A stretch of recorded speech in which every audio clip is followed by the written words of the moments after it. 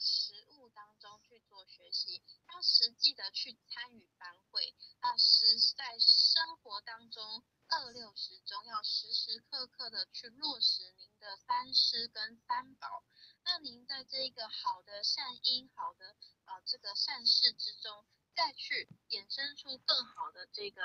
呃这个意念跟您的坚持，甚最后最后就是希望可以在这个学习的过程当中，最后再去成为一个修办的人才，这些就是成全自己的一个方式。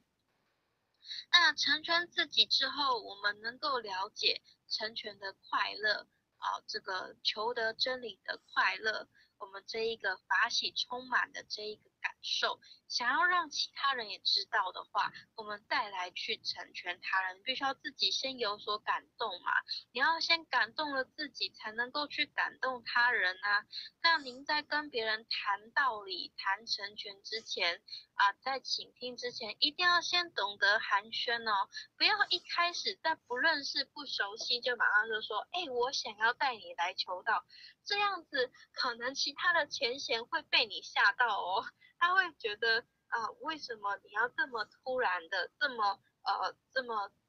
呃，没有一个章法的，没有一个原因的方式去跟您做一个阐述，必须要先先做一个寒暄。我们都说哈，如果你两个人没有关系，那就找关系嘛。那有了关系之后就没关系了嘛。所以你必须要先找关系啊，先了解这个人是怎么来的，为什么而来，他是什么样的身份，那他有什么样的一个善的因缘可以让您去做一个引入。我们都说我们做一个这个求道者，他是必须要有佛缘，有呃有祖德。好，那我。他这样子的一个善根去做一个累积，再能够这个相处之中去观察出这个人是不是有佛缘的。那我们如果呃有方便的话，就是我们能够开口的话，就去跟他再提提到是说啊，您知道这个呃人世间的这个生命的灵性的根源是什么？啊，您会不会想要知道它是从何来，从何而去？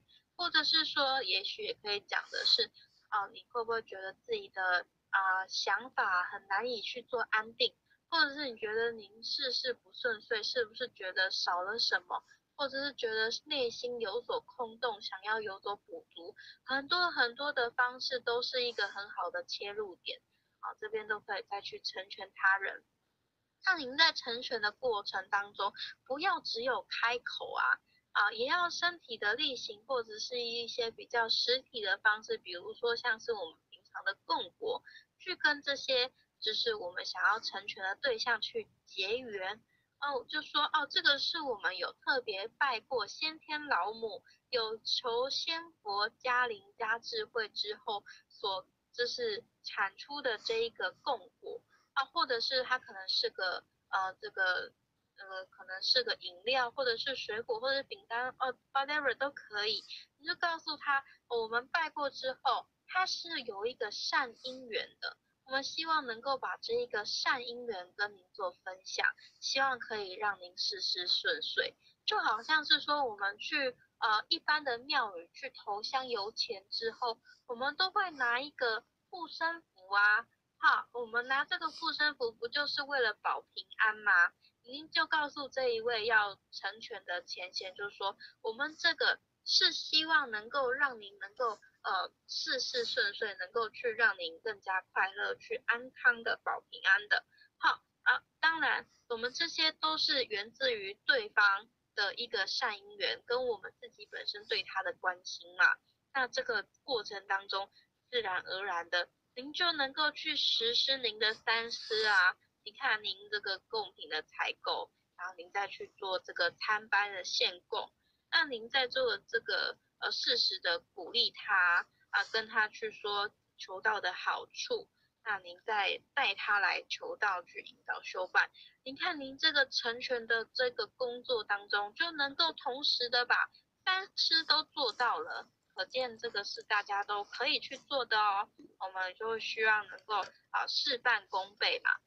那当然，您在这个呃前贤去引入道场之后，我们要自地而进哦。我先让这一个求道人先听到这个道理，想要让他去求道之后，再带他来佛堂求道。